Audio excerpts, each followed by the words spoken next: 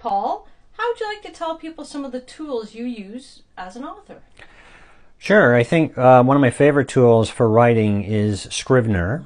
Um, it allows me, uh, here it is right here, it allows me to organize the book.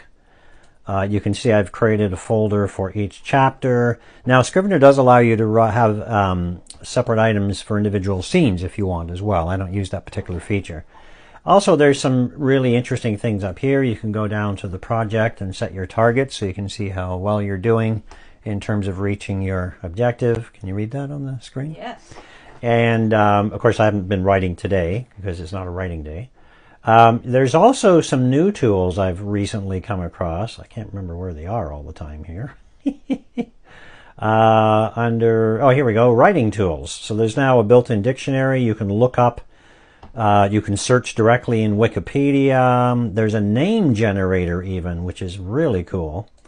And you've got all these different types of names to choose from uh, Spanish, Polish, Japanese, uh, Finnish is even in there, which surprised me. What one was missing that you wanted the other day? Uh, well, I use Germanic names a lot, and there was there was a German names, but there wasn't uh, German surnames.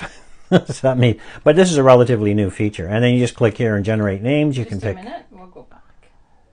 You can pick uh, male or female, or you can select either. You can attempt to have it create alliteration. You know, where the first name and last name begin with the same thing. That's really good for superheroes because apparently superheroes are like Peter Parker, and Oh yeah. they, yeah, always yeah. have the same letters. What are villains?